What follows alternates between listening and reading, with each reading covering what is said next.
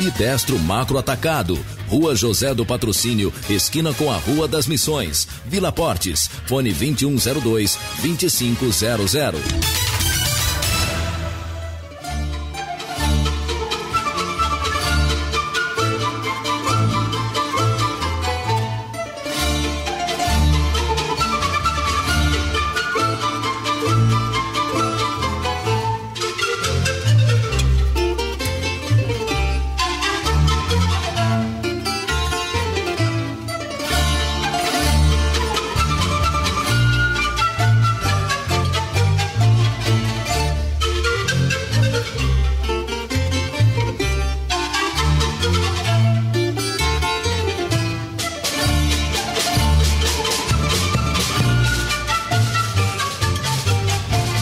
Horas e 34 minutos, 26 graus é a temperatura em Foz do Iguaçu. Voltamos com o programa Contraponto e também a volta do Dr. Nelson Rodrigues aos microfones da querida Rádio Cultura de Foz do Iguaçu.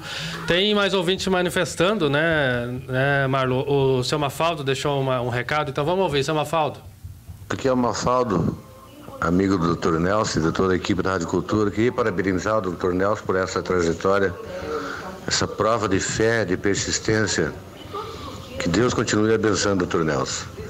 Eu queria saber quantos pares de sapatos o senhor gastou nessa trajetória. Um abraço do Mafaldo.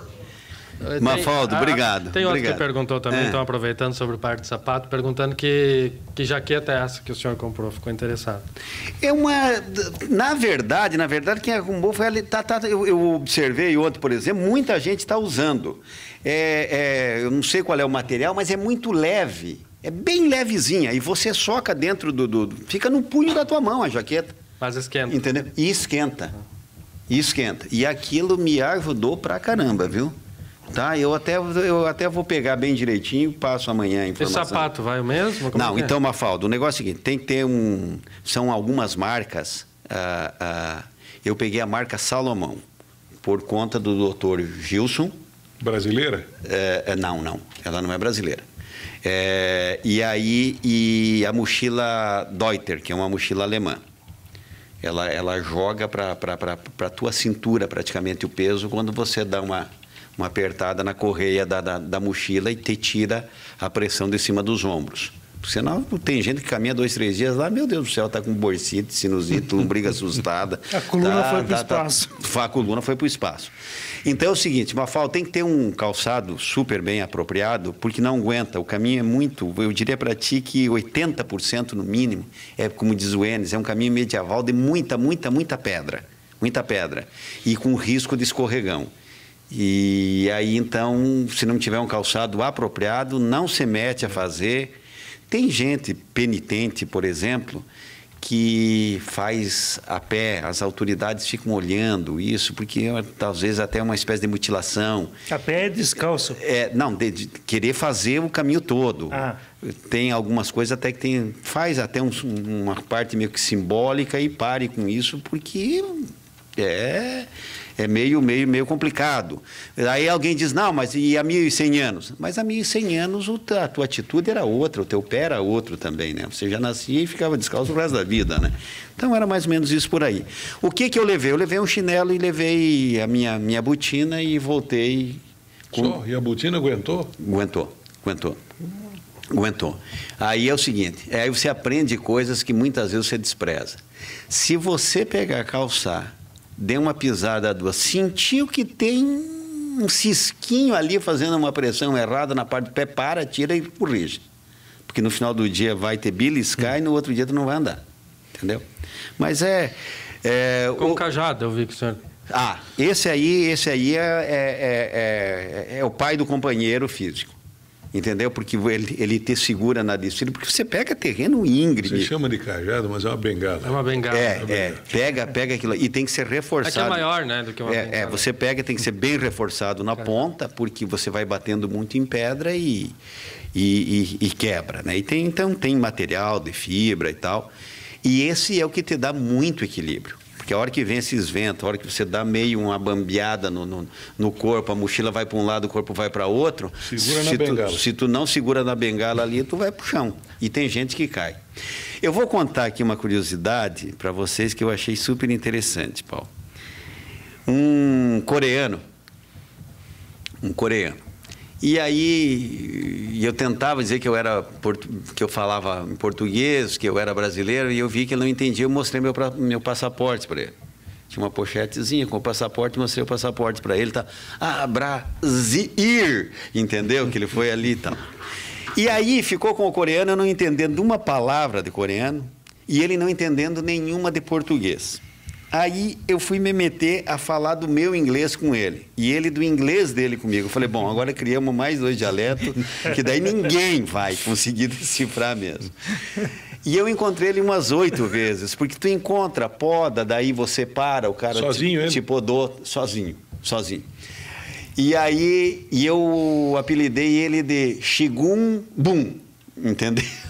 Xingungum, entendeu? E eu dizia que ele era do norte e ele fazia o sinal que ele era do sul, entendeu? Que ele era da Coreia do Norte. Bom, pelo sim, pelo não, parece que tacitamente a gente combinou o seguinte. Encontrei ele, daí ele, me, ele falava um minuto e meio, dois minutos em coreano comigo. E eu ficava olhando para ele. Aí ele parava de falar, ele ria, eu ria. Aí eu pegava e contava. Ó, eu posei em La Faba e tal, e tinha bastante gente no, no, no, no, no albergue, eu não tinha e tal. Parava, dava uma risadinha, dava uma risadinha. Daí ele fazia uma réplica, de menos tempo, eu fazia mais uma, daí a gente se dava tchau e ia embora. Entendeu? Estamos conversando. Estamos conversando. Eu não sei o que, que ele vai contar. Escuta, muito coreano lá andando. Tem, tem, tem coreanos. É? Tem coreanos. Bastante. Moças, moças, moças coreanas andando, vi. Fez algum amigo, Nelson? Ah, fiz, fiz, fiz. Graças Você a disse que Deus. encontrou gente de Curitiba lá? Encontrei gente de Curitiba, encontrei gente de São Paulo, encontrei gente do Rio Grande do Sul, ah, chilenos, ah, argentinos que são antipáticos até lá no caminho. É, também é. É. Tem. tem é. Pô, Maínes, você chega no albergue, reúne todo mundo, entendeu? Tem 15, 20, 30 pessoas ali rindo e, e meio que por mímica se explicando de onde que é, que não é e tal. E, e, e alemão vinha pro meu lado com o 7-1 deles, com o 7 a 1 entendeu? Sempre provocando, aquela coisa. Bom, tem três lá num canto. Vai lá perguntar de onde que eles são. Você fala, mas não é. É argentino, era? É, é, pelo menos eu, eu falei, bom. só uma vez. Eu falei, tinha, Não, tinha, eu- tinha que ser. Mas enfim, tem, tem, é, é, é curioso, Isso é vale a pena isso é- Tá, bu, tá bueno? Tá bom, eu não sei, o senhor que. que... Não, não, Eu pô, acho que ainda vai contar um tema, muito. essa Olha, eu, eu que quero, eu quero agradecer muito, viu, Paulo, você você ter vindo aí para fazer isso. Diga. Você levantou um tema das perspectivas da juventude. Sim. O que fazer, como fazer, que meta e tal. Eu estou escrevendo um livro Você me falou. sobre a minha vida. Sim. que eu praticamente vivi as grandes contradições, os grandes dilemas da nossa época. Eu gost... acho que queria fazer uma sugestão para você, que é um tema tão importante que mereceria um programa que a gente aprofundasse isso. O meu pai, com 22 anos, foi para a Segunda Guerra Mundial. Você falou que nós estamos vivendo uma época. Hoje a pessoa tem que resolver, tem acesso à imprensa, tudo, tudo que é tipo de religião, para resolver um rumo. Naquela época, eles iam para a guerra. E morreram milhões. Se você citou um filme de guerra, você vai ver filme da Segunda Guerra Mundial, era a juventude, 18, 19, 20 anos que ia. Na Primeira Guerra Mundial, a mesma coisa. Você vê o Napoleão, sempre teve. Nós estamos vivendo num mundo hoje, que a gente merece uma análise, que a pessoa decide o seu destino como nunca tivemos tantas oportunidades disso. E o que, que a pessoa vai fazer da vida? O que, que você vai destinar à tua vida? Para que, que você vai fazer? O que, que você vai fazer com a sua vida? Esse era um tema fundamental para uma discussão. Porque, Paulo, quer ver? Deixa eu só Porque- Hum. colocar aqui um ponto para você. Eu estava observando uma coisa bem simples. No aeroporto de Madrid, Hum. e me passou isso pela cabeça, observando. Você, eu acho que você esteve lá já em. Sim. Tá. Então você vai sair do, do, do aeroporto ali, você tem ou de metrô ou de trem e tal. Você não está mais conversando com pessoas. Você vai na máquina. Você está conversando com uma máquina.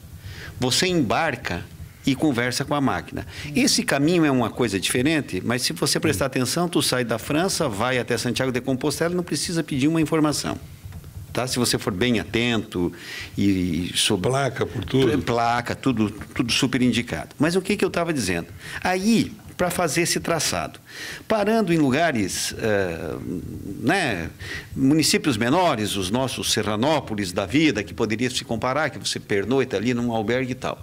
Você conversa com o jovem, com a jovem que está ali atendendo, porque normalmente são pessoas idosas, normal são pessoas idosas é uma moça que ela está meio incomodada com a geografia ali. Ela gostaria de estar em Madrid, ela gostaria de estar em Barcelona e tal. Ela tem faculdade de turismo, ela fala dois, três idiomas, ela não sei o que, mas não tem espaço para ela trabalhar para ele trabalhar. Então eu estava vendo até por esta ótica. Agora, você tem som, me dá som. Na, na Europa hoje você tem um índice dos jovens de desemprego muito, Altíssimo. muito, Nelson, muito me alto. Dá, me dá só um pequeno gancho. Diga. A humanidade cria, produz soluções. Eu penso que Você sim. Você sabe qual é uma solução?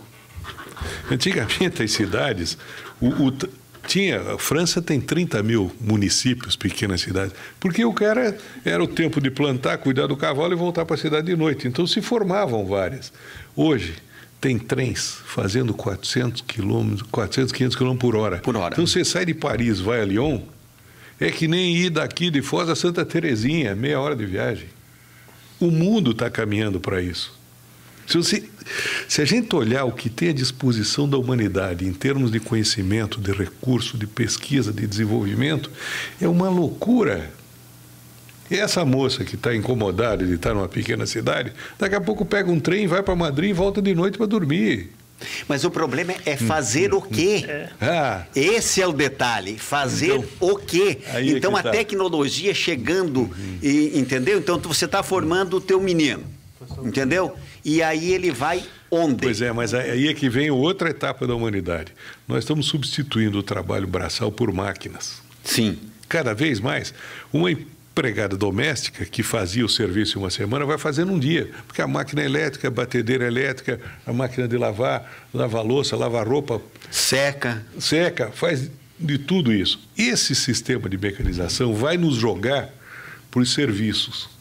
Então, agricultura, você vê, antes tinha 50% da população agrícola. Hoje, Estados Unidos, com 4%, é o maior produtor do mundo em grãos e tudo. Máquina, tem trator sem operador, que é, já vai tudo. por satélite, tem tudo. Onde é que vai ser a nossa grande desenvolvimento?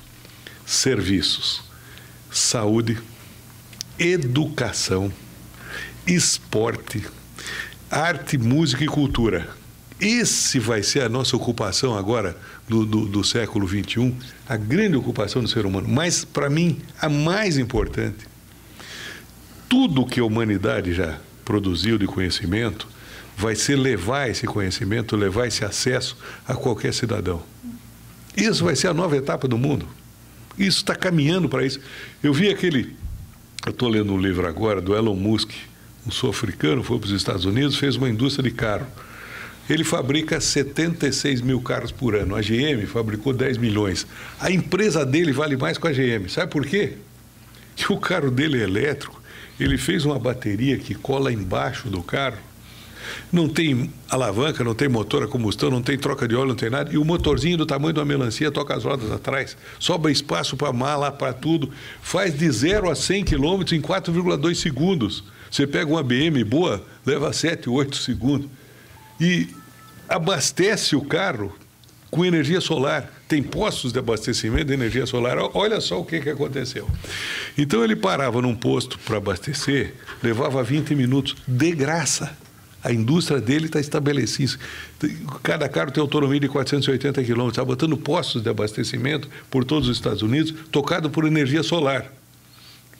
A energia. Daí, demorava 20 minutos para reabastecer a bateria dele. Sabe o que, que ele inventou? O carro para, tem um robô que entra embaixo do carro, troca a bateria vazia por uma cheia e vai embora em um minuto. Só que aí o cara paga o, o, o, o serviço do robô. Olha que mundo que nós estamos entrando. Eu vi coisa, hoje eu vi uma reportagem de um concreto que se cura sozinho. A trinca, ele é um bio, bioconcreto, se cura sozinho. E, mas é, o que nós estamos vivendo em termos de tecnologia, o grande nó qual é? Qual é o grande nó da humanidade na virada do século XXI?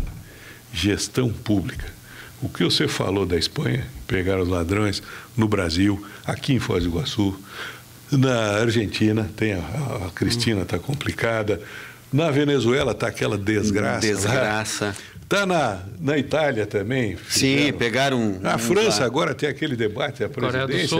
Teve um candidato que era o favorito, o tal de Filhon, de, de descobriram que ele empregou a mulher que não trabalhava, pagava salário, ficou para fora, não foi para o segundo turno e é, era o favorito. Foi o terceiro colocando. O mundo vai gerir para isso. Então a juventude precisava estar tá pronta para essa nova fase. E nós temos que preparar isso, nós temos que abrir esse caminho para o cara não se perder na droga, não se perder com falsos objetivos, não se perder o tempo da vida dele, não se esvair a troco de nada. Então, eu acho que estamos num momento precioso. Essa tua experiência foi extraordinária. Extraordinária. Eu diria que é o um encontro de você com você mesmo e vai achar o caminho e serve de exemplo para um mundo de coisas.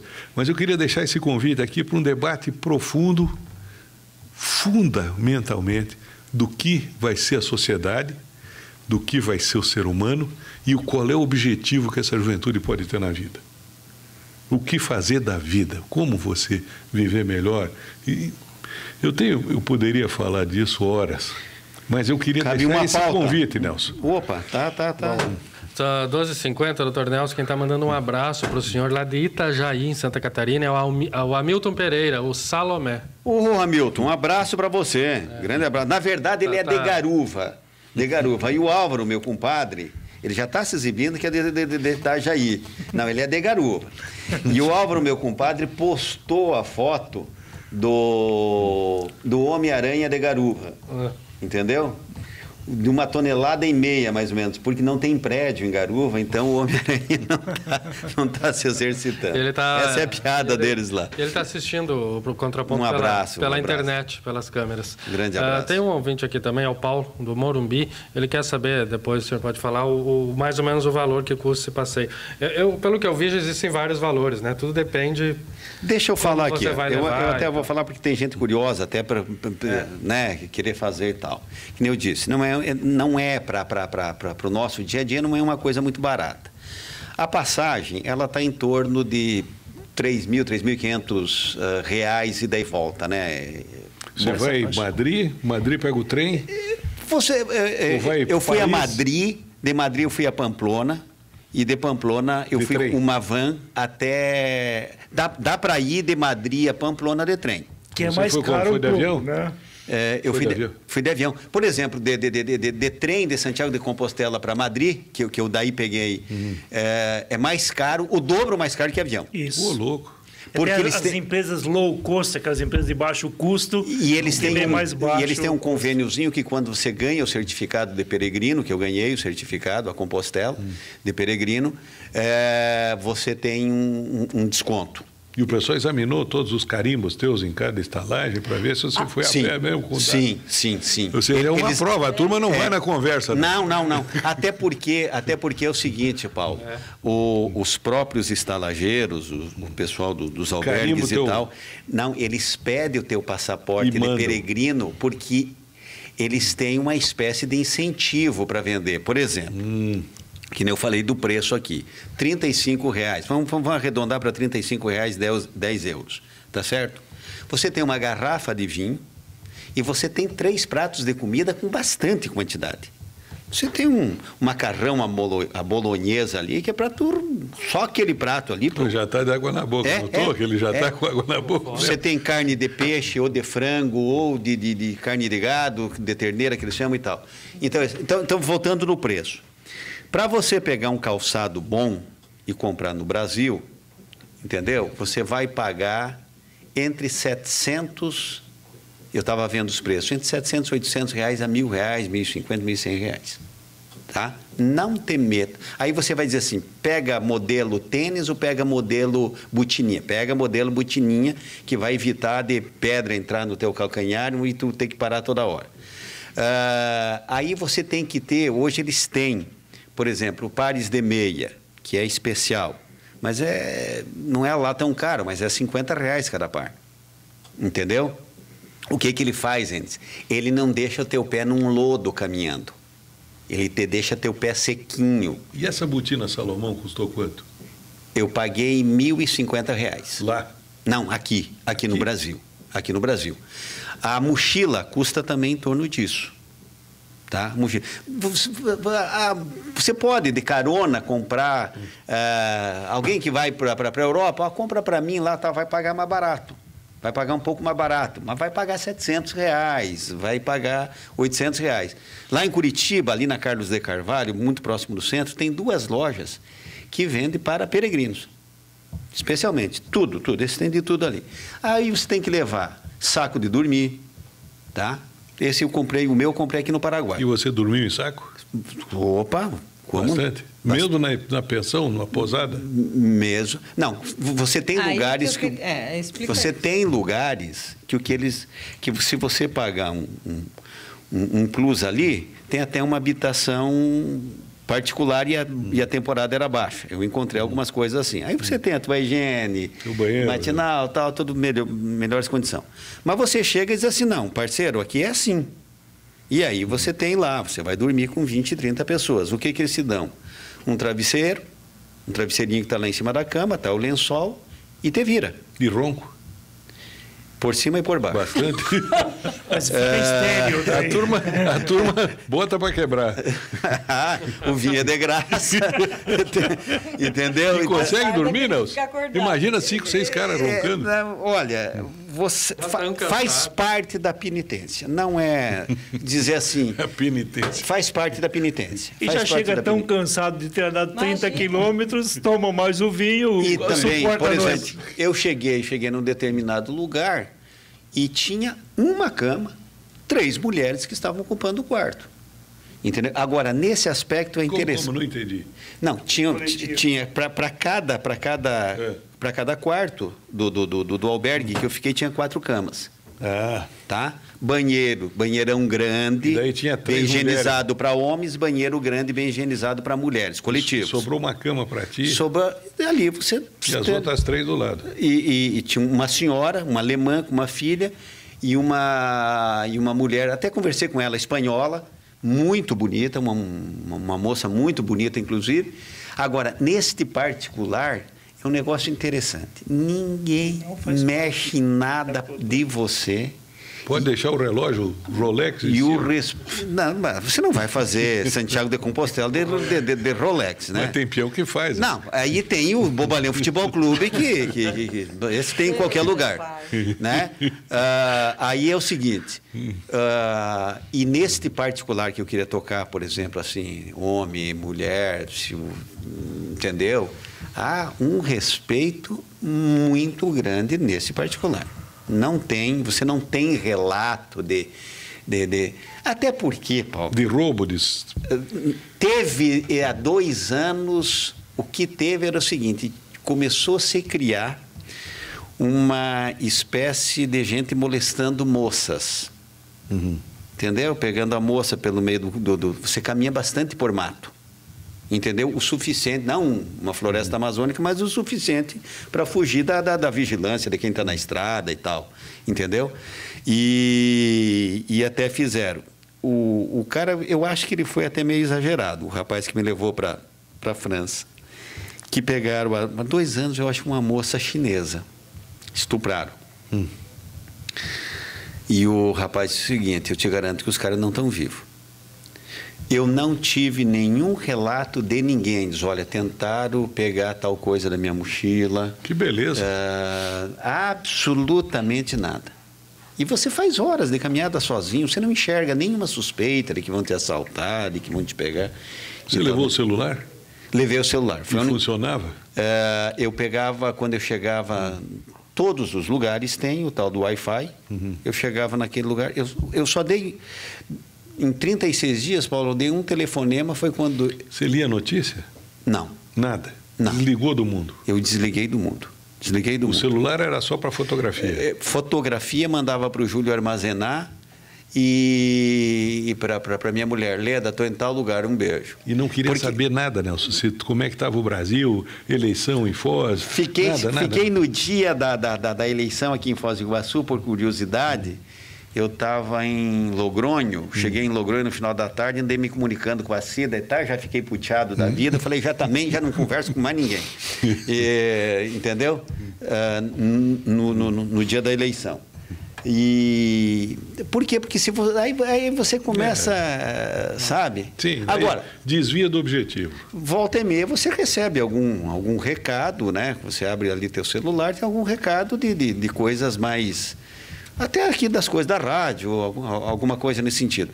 Mas recebi muito incentivo de, de, de, de amigos dessa página de Facebook que eu quero assim, olha, ó, um beijo para vocês, muito obrigado. Acabou o programa? Uma hora. Então tá. Acabou o programa. Agora o senhor comandava. Então tá bom. Amanhã nós- Amanhã o senhor volta. O ao Enes. Enes, eu quer terminar ele- o programa? Eu, eu Tem- acho. Faz. O Enes ficou ali Seus tão, alfarrábios tão, tão ali acompanhando, tão de perto, eu fiquei te observando. Mas lá, é, é um programa para ouvir, não É, é. Exatamente. disse, é Mas eu ouvir. queria que você fizesse É um esse programa fechamento. ouvir Ele aqui ficou a- Enes, Enes, deixa eu te falar. Gasparim, Gasparim é isso?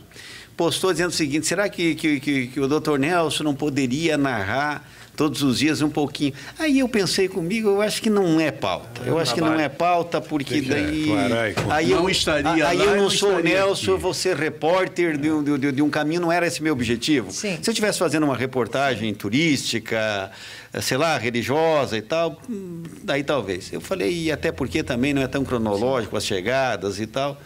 Então eu preferi contar isso agora para dizer o seguinte: o, o resumo. Para mim, gratificante, valeu por cada milímetro caminhado. Se não dessa forma, alguém que, que puder e queira fazer alguma coisa ainda emblemática Sim. assim, entendeu? Exige sim doses de sacrifício, não é coisa, não é risco de vida, como se fosse ah, um herói. Até agradeço o exagero do Paulo e a consideração, Ah, mas, mas é, Enes, pelo menos, quem sabe no, no dia a dia que a gente vai enfrentando, a gente vai voltando a ser as coisas do dia a dia. Eu sinto que foi muito bom para mim. Muito bom. Muito bom. Vale, vale, vale, vale a pena. Determinados entendimentos, determinadas angústias, entendeu? Considerações que você faz, valores que você, entendeu? Não que eu voltei desapegado do que é material, que eu não quero mais nada que seja prazeroso, que eu estou entregando. Não, não, não, não. É aquilo que eu falei. Eu acho que você volta menos bobalhão. No mínimo isso você volta, menos bobalhão. Nelson, eu vou dizer uma coisa: esse teu testemunho faz muita gente repensar muita coisa da vida. Foi muito importante Verdade. ouvir isso. Essa tua contribuição aí vai ajudar muita gente, eu tenho certeza, a repensar até o próprio objetivo da vida. Meus parabéns, Nelson. Muito bem. Obrigado, um abraço. Uma gente. hora da tarde, o doutor Nelson vai dar uma caminhadinha agora. A gente volta amanhã com o Contraponto 26 graus. Obrigado pela audiência. Até amanhã a gente volta. Tchau.